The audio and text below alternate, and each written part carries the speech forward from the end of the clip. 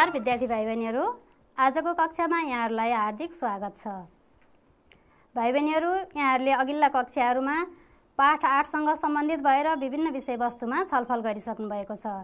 आज हामीले पाठ नौ अन्तर्गत रहेको जागा जागा कविताका बारेमा छलफल गर्नेछौँ। भाइ बहिनीहरू आज हामी जागा जागा कवितासँग सम्बन्धित भएर लयबद्ध वाचन उच्चारण शब्दको अर्थ पहिचान वाक्यमा प्रयोग भावबोध र पठनबोध सम्बन्धी विषयवस्तुमा छलफल गर्नेछौँ। भाइ बहिनीहरू सबभन्दा पहिला म यहाँहरूलाई केही चित्रहरू देखाउँछु। ध्यान दिएर हेर्नुहोस् है त। ल हेर्नुहोस् त। यो चित्र केसँग सम्बन्धित छ भाइ बहिनीहरू हो ठिक छ। यहाँहरूले सही अनुमान गरिसक्नु भएको छ। यो चित्र कृषिसँग सम्बन्धित हो। है स्याबास। अब अर्को चित्र हेर्नुहोस् त भाइ बहिनीहरू ल हेर्नुहोस् त। यो चित्र केसँग सम्बन्धित छ? हो। यहाँले अनुमान गरिसक्नुभयो स्याबास यहाँहरूलाई हेर्नुहोस् त यो केसँग सम्बन्धित हो? हो व्यापारसँग सम्बन्धित चित्र है। ल फेरि अर्को चित्र हेर्नुहोस् है त। भाइ बहिनीहरू यसमा के हुँदैछ? के काम भइरहेको छ हेर्नुहोस् त। हो यहाँहरूले अनुमान गरिसक्नुभयो यसमा प्रविधिको प्रयोग भइरहेको छ होइन त? हो ठिक छ। अब फेरि अर्को चित्र हेर्नुहोस् है त। हेर्नुहोस् त भाइ बहिनीहरू यो चित्रमा के देखाइएको छ?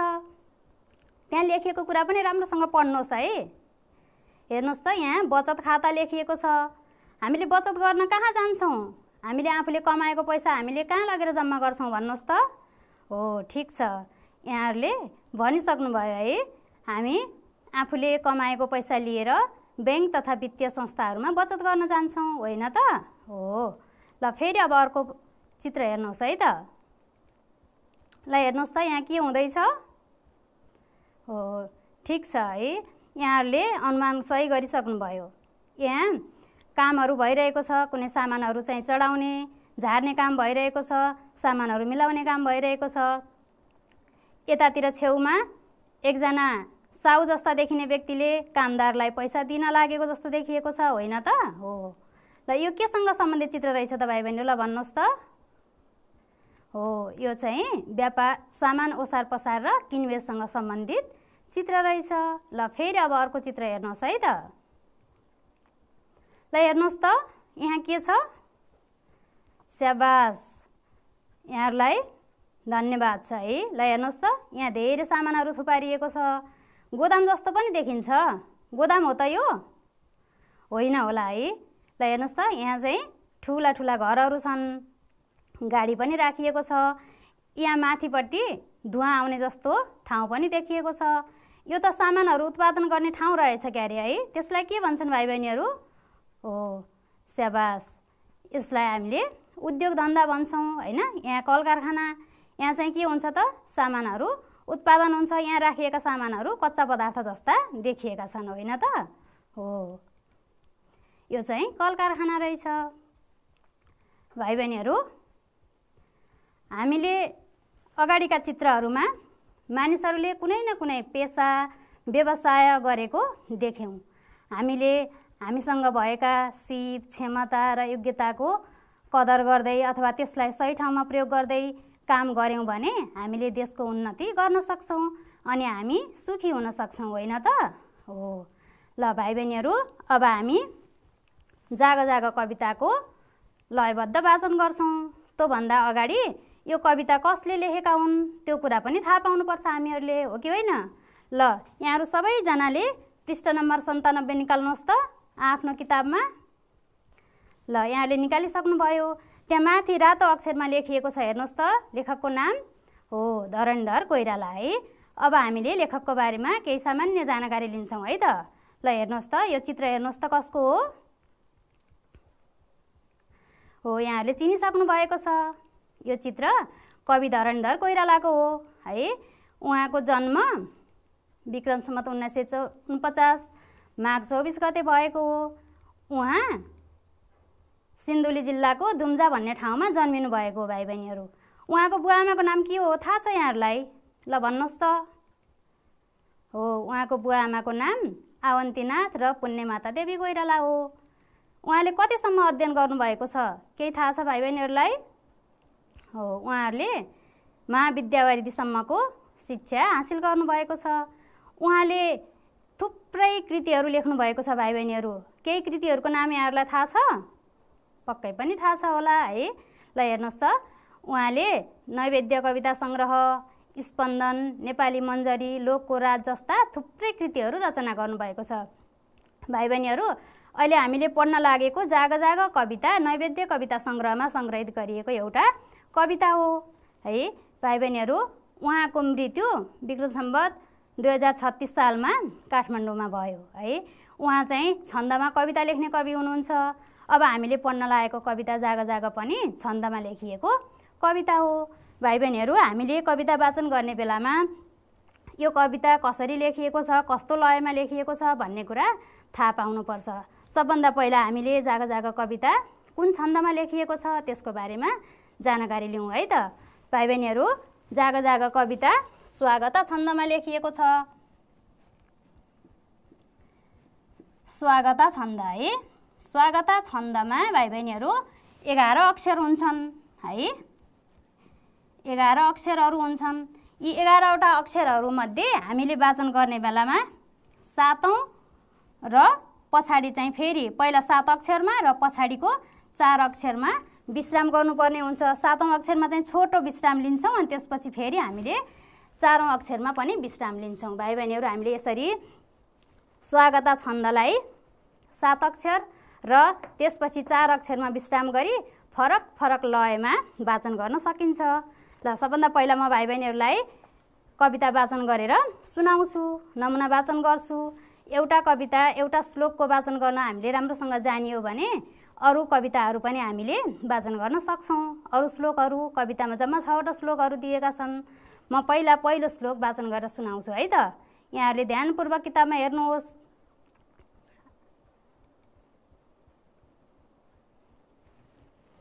ल अब म कविता लयबद्ध वाचन गर्छु है त भाइ बहिनीहरू यहाँहरूले ध्यानपूर्वक सुन्नुहोस् है त। जाग जाग अब जाग न जाग जाग जाग अब जाग न जाग लाग उन्नति विषय अब लाग। घोर निद अबता परित्याग भो भयो अति सुत्यौ अब जाग।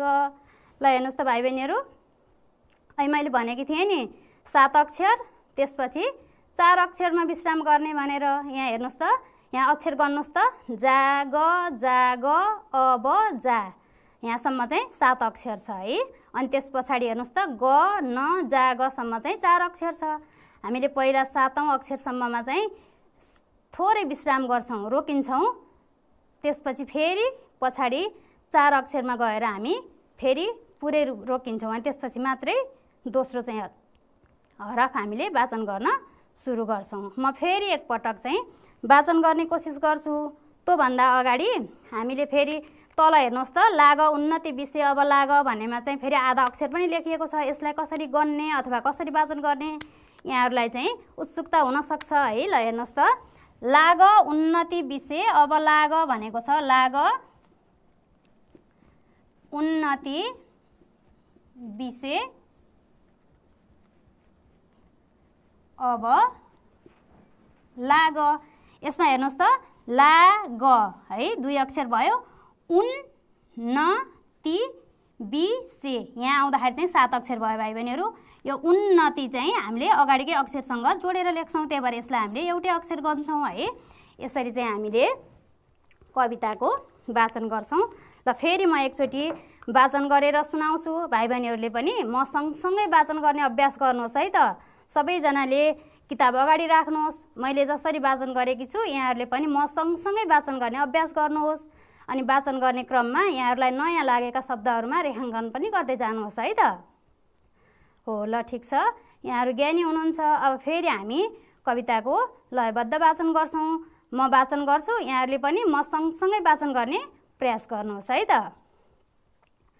जाग जाग अब जाग न जाग लाग उन्नति विषय अब लाग। घोर निद अबता परित्याग भो भयो अति सुत्यौ अब जाग भाइ बहिनीहरू स्वागत। छन्दलाई हामीले फरक फरक लयमा वाचन गर्न सक्छौँ तर वाचन गर्ने क्रममा सात अक्षरमा छोटो विश्राम लिएर वाचन गर्नुपर्ने हुन्छ। ल अब दोस्रो श्लोक हेरौँ है त। यहाँहरूले पनि म सँगसँगै वाचन गर्ने अभ्यास गर्नुहोस् है। र नयाँ लागेका शब्दहरूमा रेखाङ्कन पनि गर्दै गर्नुहोस्। ल हेर्नुहोस् है त। देश बन्धुहरू हो उठ जाग लाग उन्नति विषय अब लाग। धौ धौ मनको अब मैलो फालिदेऊ डरको अब थैलो। भाइ बहिनीहरू म सँगसँगै वाचन गर्नुभएको छ नि?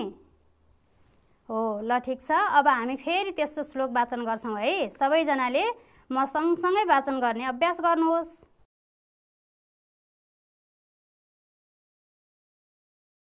अब हामी तेस्रो श्लोक वाचन गर्छौँ। भाइ बहिनीहरू ध्यानपूर्वक सुन्नुहोस् र म सँगसँगै वाचन गर्ने अभ्यास गर्नुहोस् है।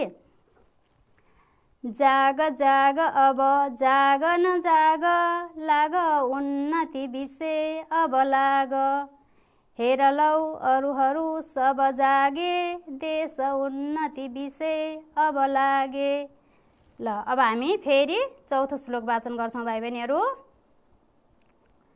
ल सबैजनाले राम्रोसँग किताबमा हेर्नुहोस् र म सँगसँगै वाचन गर्ने अभ्यास गर्नुहोस् है।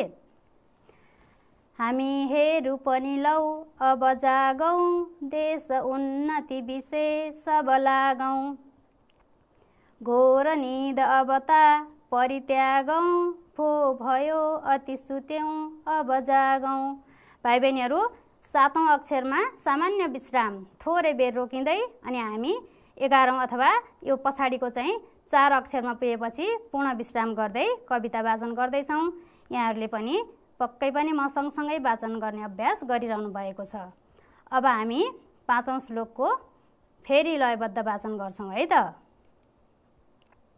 यहाँहरूले पनि फेरि म सँगसँगै वाचन गर्नुहोस् है त।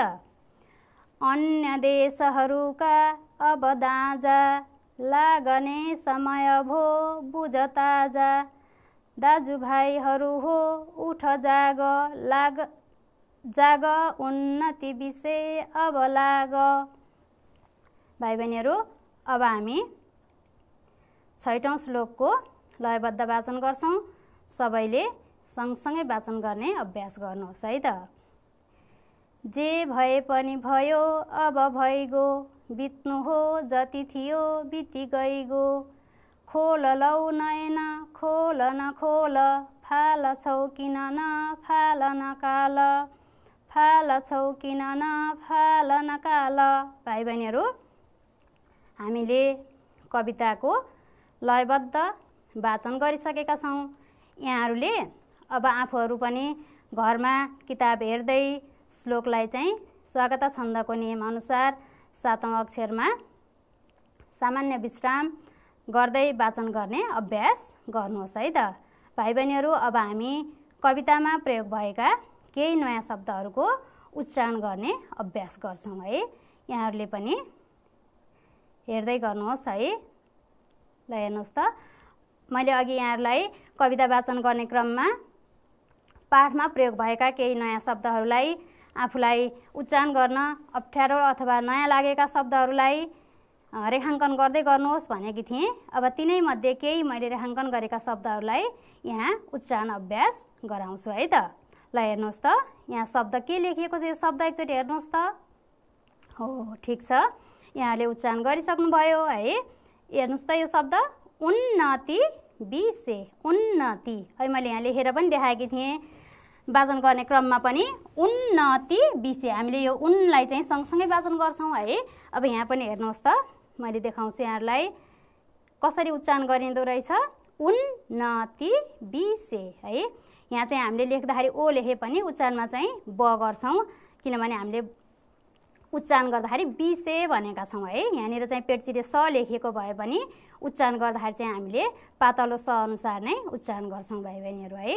ल एकचोटि फेरि उच्चारण गर्नुहोस् त। हो ठिक छ।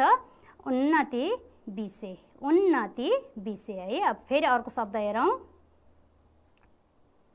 हेर्नुहोस् त यो शब्द के हो? सबैजनाले उच्चारण गर्नुहोस् त। देश बन्धुहरू है। देश बन्धुहरू ल हेर्नुहोस् त। देश बन्धुहरू बन्धु है। आधा अक्षर चाहिँ अगाडिको अक्षरसँगै आएको छ। बन्धु है? बन्धुहरू देश बन्धुहरू ल फेरि अर्को शब्द हेरौँ भाइ बहिनीहरू ल हेर्नुहोस् त यो शब्द के हो? हो। यहाँहरू सबैजनाले उच्चारण गरिसक्नु भएको छ। परित्याग परित्याग है? हेर्नुहोस् त परित्याग। हामीले यो पछाडिको त्याग शब्दलाई एकै जोक्कामा उच्चारण गरेका छौँ। परित्याग है? अब फेरि अर्को शब्द हेरौँ त भाइ बहिनीहरू हेर्नुहोस् त यो शब्द के हो? र सबैजनाले उच्चारण गर्ने अभ्यास गर्नुहोस् त। हो ठिक छ यहाँहरूलाई। नयन हो। नयन लेख्दाखेरि चाहिँ न न लेखेको छ। न य न तर हामीले उच्चारण गर्दाखेरि चाहिँ नयन भनेर उच्चारण गर्छौँ। ल हेर्नुहोस् त। नयन है।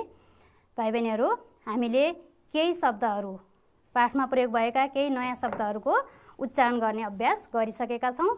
यसपछि अब हामी पाठमा प्रयोग भएका केही नयाँ शब्दहरूको अर्थ पहिचान गर्छौँ है। म यहाँ केही शब्दहरू देखाउँछु। यहाँहरूले त्यसको अर्थ चाहिँ के हो खोज्दै गर्नुहोस् है त। ल हेर्नुहोस् त। यो शब्द के हो? जाग है। यहाँहरूले ल यसको अर्थ के हुन्छ होला सोच्दै गर्नुहोस् है।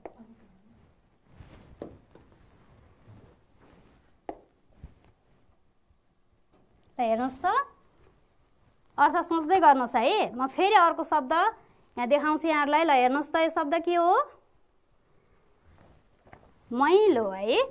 यहाँहरूले यो मैलो शब्दको अर्थ के हुन्छ? कतै किताबमा छ कि? हेर्दै गर्नुहोस् है यसको अर्थ के हो?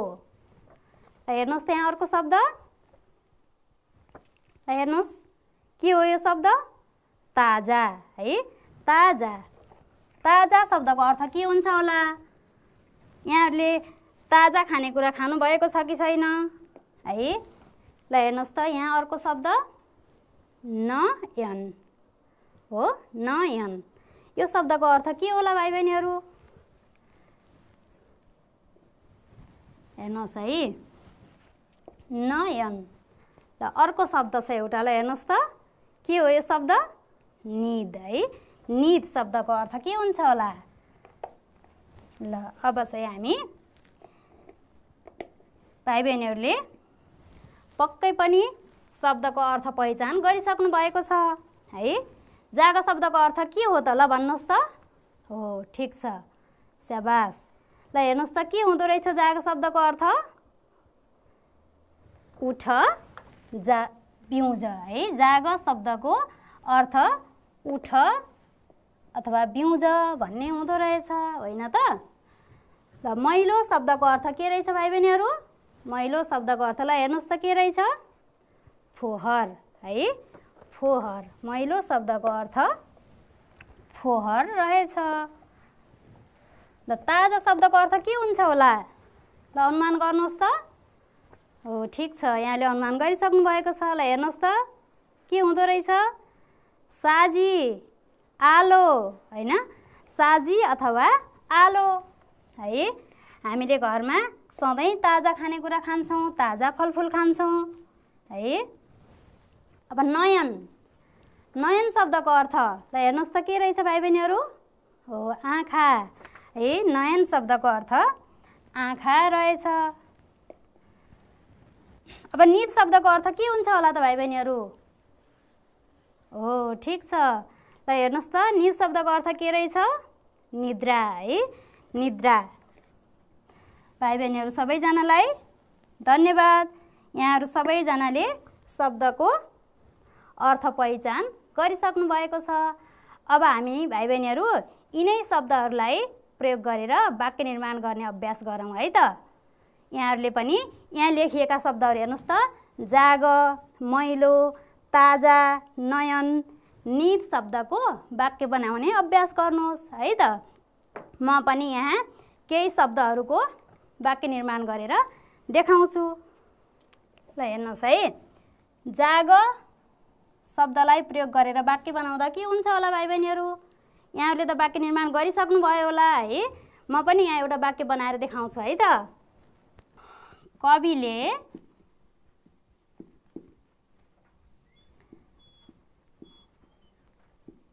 सम्पूर्ण नेपालीलाई नेपालीहरूलाई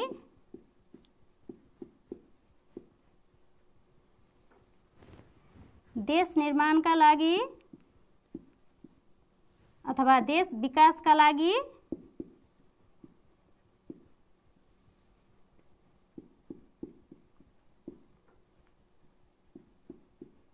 जाग भनेका छन्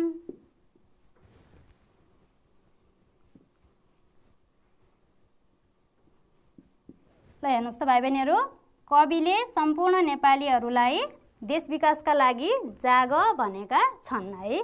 अब हामी फेरि ताजा शब्दको वाक्य बनाउने प्रयास गरौँ है त। ल म पनि यहाँ एउटा वाक्य बनाएर देखाउँछु। यहाँहरूले पनि वाक्य बनाउने अभ्यास गर्नुहोस् है त। निरोगी हुनका लागि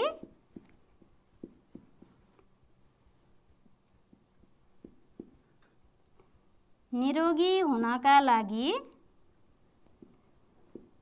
ताजा खानेकुरा खानुपर्छ अथवा मलाई ताजा खाना मनपर्छ भने पनि हुन्छ होइन त भाइ बहिनीहरू ताजा खाना ताजा खाना खानुपर्छ।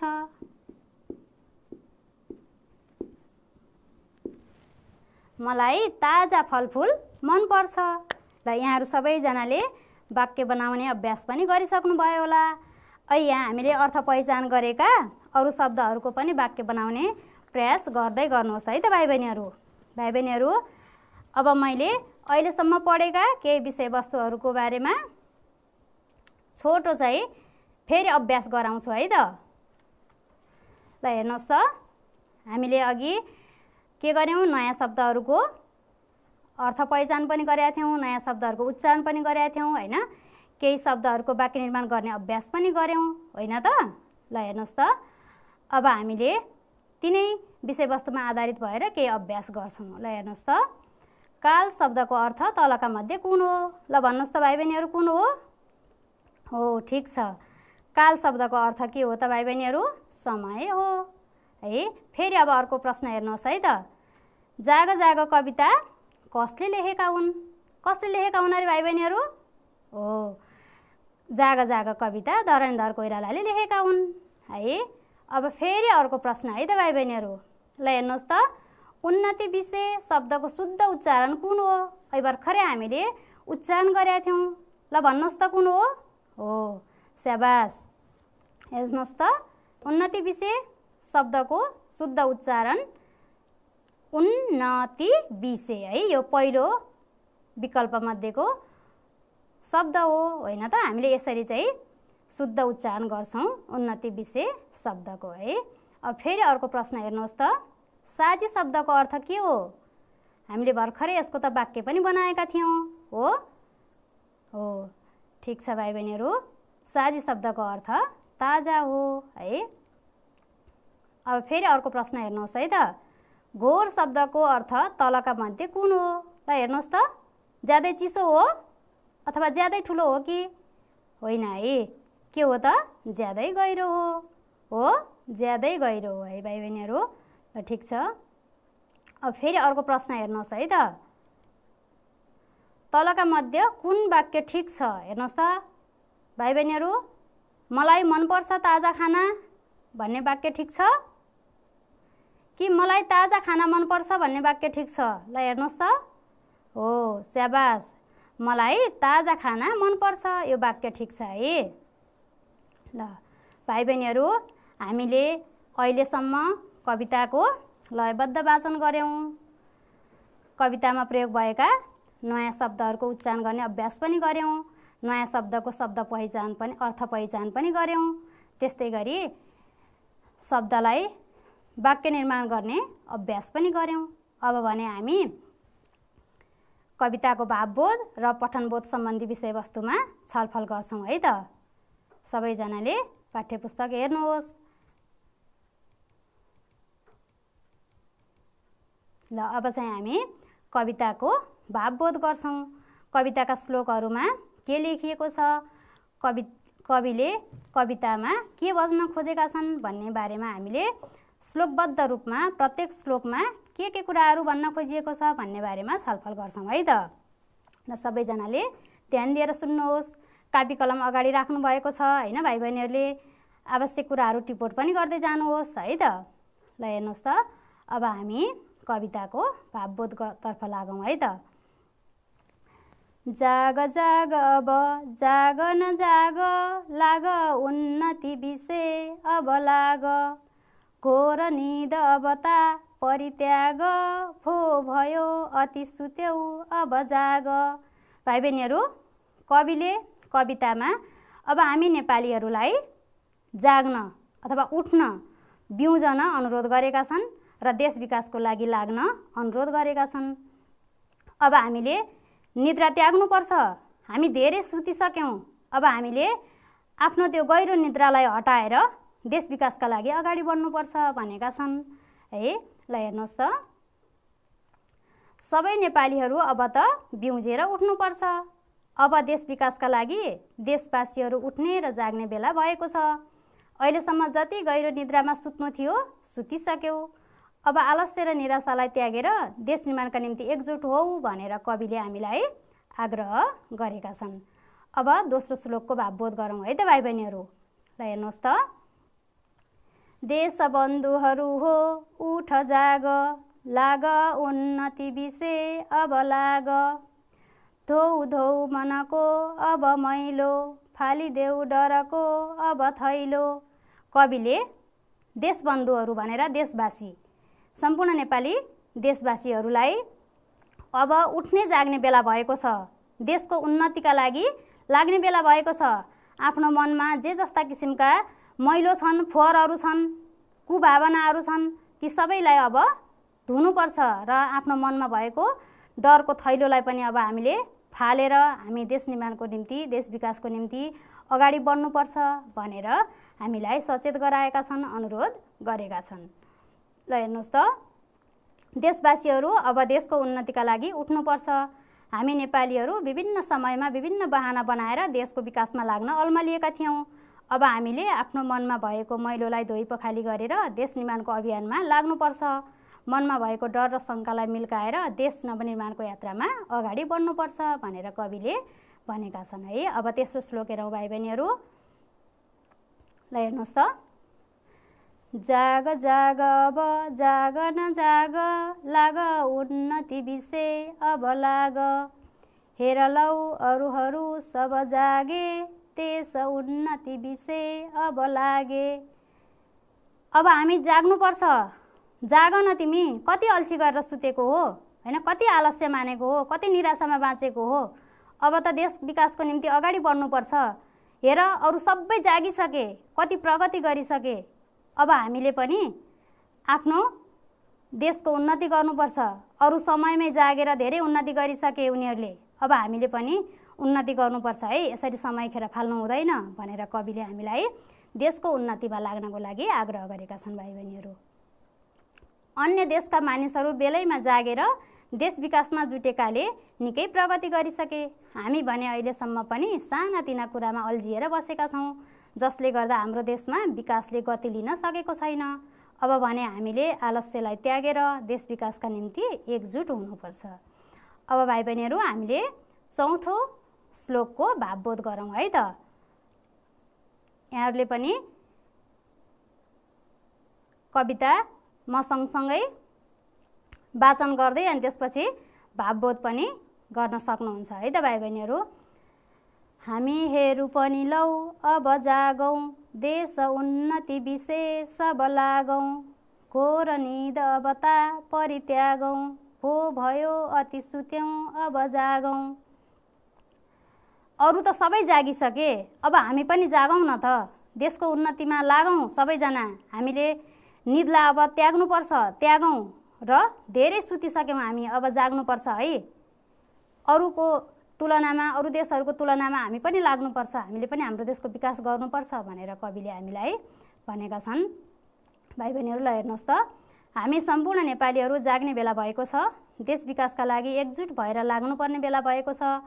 अहिलेसम्म हामी गहिरो निद्रामा छौँ निधाएर सपना देखिरहेका छौँ तर अब यो समय त बिउजेर हाम्रा सुन्दर सपनाहरू पुरा गर्न लाग्नुपर्ने समय हो।